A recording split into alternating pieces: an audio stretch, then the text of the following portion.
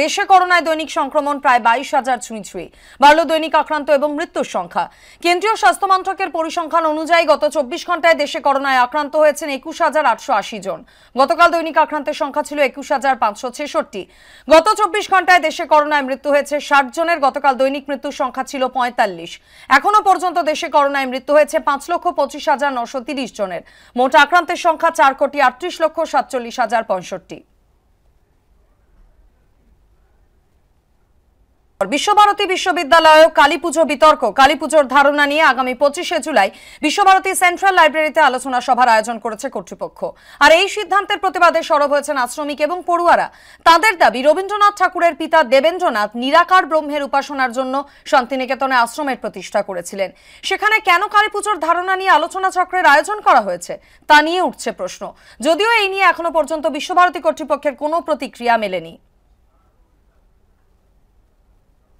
তৃণমূলের বলবার কোনো দরকার নেই। এটা একটা সত্য ঘটনা যে এখানে কোনো মূর্তি পূজা সম্বন্ধে আলোচনা হয় না কোনো দিন হয়নি হওয়া উচিত নয়। সুতরাং এটা করে এটা অন্যায় করা হয়েছে বলে আমি মনে করি। মূর্তি পূজা এখানকার ইয়ের আদর্শের বহির্ভূত। আগে কখনো এই ধরনের আলোচনা কখনো হয়েছে বলে আমার ধারণা নেই। আমার যত- যতটা জানি তাতে কোনোদিন হয়েছে বলে আমার ধারণা নেই। এই প্রসঙ্গে তৃণমূল এবং বিজেপির কি প্রতিক্রিয়া? শোনাবো।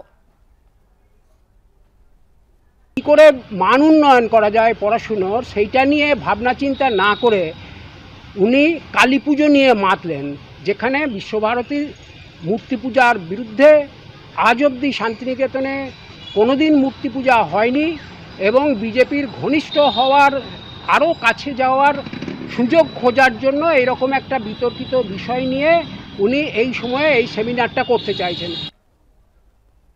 ঠাকুরের জায়গায় যদি কোনো সেমিনার করেন কালীকে কেন্দ্র করে, এটা কোনো অপবিত্র নয় বা এটা কোনো ধর্মীয় ব্যাপার নয়। সমস্ত সম্প্রদায়ের মানুষ যাতে শান্তিতে থাকতে পারে, তার জন্য এই আলোচনা। পূজা পার্বণ মানে সেবা করা। এই ভারতবর্ষের মধ্যে যারা বাসবাস করছেন, তাদের শান্তিপ্রিয়ভাবে আর থাকার জন্যই আমাদের সেবা দুর্গা পূজা বা কালী পূজা সমস্ত কিছু। এখানে কোনো রকম বিতর্কিত বিষয় নয় তো। আর এবার চোখ রাখব দেশের করোনা আপডেটস এর দিকে। দেশে করোনায় দৈনিক সংক্রমণ প্রায় বাইশ হাজার ছুঁই ছুঁই বাড়ল দৈনিক আক্রান্ত এবং মৃত্যুর সংখ্যা। কেন্দ্রীয় স্বাস্থ্য মন্ত্রকের পরিসংখ্যান অনুযায়ী গত চব্বিশ ঘন্টায় দেশে করোনায় আক্রান্ত হয়েছেন একুশ হাজার আটশো আশি জন। গতকাল দৈনিক আক্রান্তের সংখ্যা ছিল একুশ হাজার পাঁচশো ছেষট্টি। গত চব্বিশ ঘন্টায় দেশে করোনায় মৃত্যু হয়েছে ষাট জনের। গতকাল দৈনিক মৃত্যুর সংখ্যা ছিল পঁয়তাল্লিশ। এখনও পর্যন্ত দেশে করোনায় মৃত্যু হয়েছে পাঁচ লক্ষ পঁচিশ হাজার নশো তিরিশ জনের। মোট আক্রান্তের সংখ্যা চার কোটি আটত্রিশ লক্ষ সাতচল্লিশ হাজার পঁয়ষট্টি।